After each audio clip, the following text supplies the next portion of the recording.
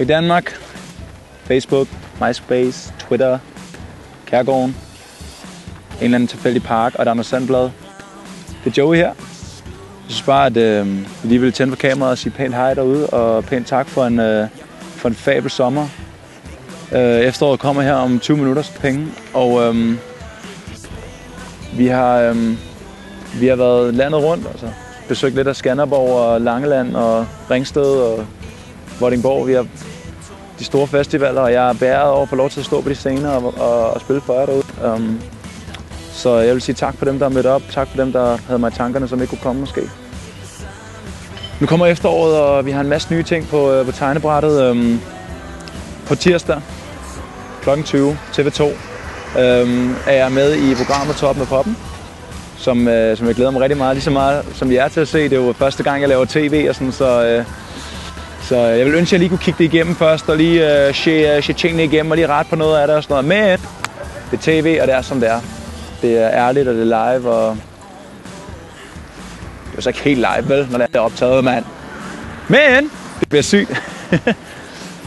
um, det første dag, jeg synger Inderst Inde, som er, um, som er et nummer, som, uh, som Søs Finger har lavet.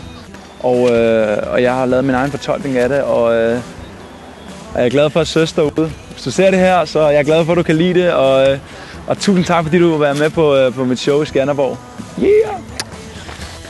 Det bliver godt, mand. Det hedder Inderst Inde Part 2, og det er min, min egen fortolkning af det, så må det ikke også, at, øh, at det måske tager lidt til. Um, jeg har lige sendt dobbeltslag ud forleden. Mit hjerte, det er sådan et dobbeltslag. Au! Og hvad er der mere, mand? Der er dyb vand, som jeg har fået lov til at være med på, og Svendstrup og Vennerbo. Shout out til dem. Um, shout out til Nadia Mann. Um, øhm, vi har, uh, vi har, vi har måske, måske, ikke sikkert, men måske, at uh, I kunne følge med på Pulses side. Yes, baby, Puls. Det kan være, at jeres alle sammen andre dreng kommer til at uh, lave lidt med dem også. Måske. Um, jeg vil gerne lige lave en lille teaser til, uh, til en dato her den 11. i 11. i 11. klokken 11. 11 kommer der en, en ny artist ud i Danmark, som, som mange af DJ'sene kender derude men, øh, men, øh, men mængden derude, ja, derude måske ikke lige kender. Og øh, det er en af mine gode venner. Så, øh, så med den 11. 11. 11. Måske også lidt før vi, øh, at vi publisher det navn. Ellers øh, er det bare 10-4, og jeg synes, at øh, det er godt vejr, og lad os øh, få det bedste ud af, af sensommeren her, og være gode ved hinanden, og lad os ses derude. Ja!